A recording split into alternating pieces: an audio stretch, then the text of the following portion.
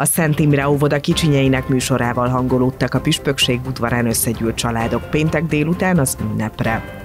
Az adventi koszorún a negyedik gyertyát is meggyújtották. Spányi Antal Jézus érkezése kapcsán az örömről és a lélek tisztaságáról beszélt köszöntőjében. Ez az idei esztendő adventje egészen különleges, rövid, mert hiszen amikor mi advent negyedik vasárnapját ünnepeljük, a családokban azon az estén már megjön a Jézuska, amit a gyerekek annyira várnak, és ami mindannyiunknak nagy-nagy öröm, hiszen a karácsony az örömnek az ünnepe. Azt gondolom, hogy ez a negyedik gyertya gyújtása az örömnek a gyújt gyertyája, amikor halljuk az angyal köszöntését Mária felé.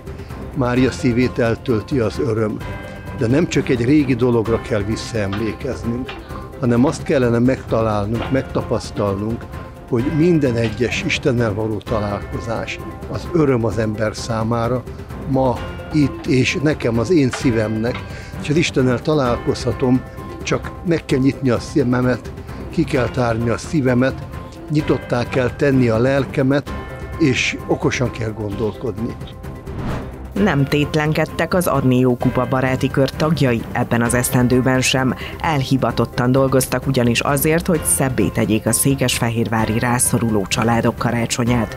Idén 130 család kapott tartós élelmiszercsomagot, és 100 gyermek vadonatúj személyre szabott játékot. Ez a közösség, ami így összejött a hosszú évek alatt, egyrészt nagyon jó baráti társasággal kovácsolódott össze, másrészt az, hogy akiknek szükségük van rá, valóban szükségük van rá arra, hogy, hogy a karácsony egy picit boldogabb legyen, egy kicsit mosolyt csalni az arcukra, ezekért a mosolyokért dolgozunk egész évig. A csomagokat hagyományosan azok a családok kapták, akiknek nagy szükségük van az ilyesfajta támogatásra. Nagy-nagy öröm ez számomra minden évben, hogy az adni jókupások megkeresnek az ügyben, hogy segítsek a karácsonyi adományosztás leszervezésében.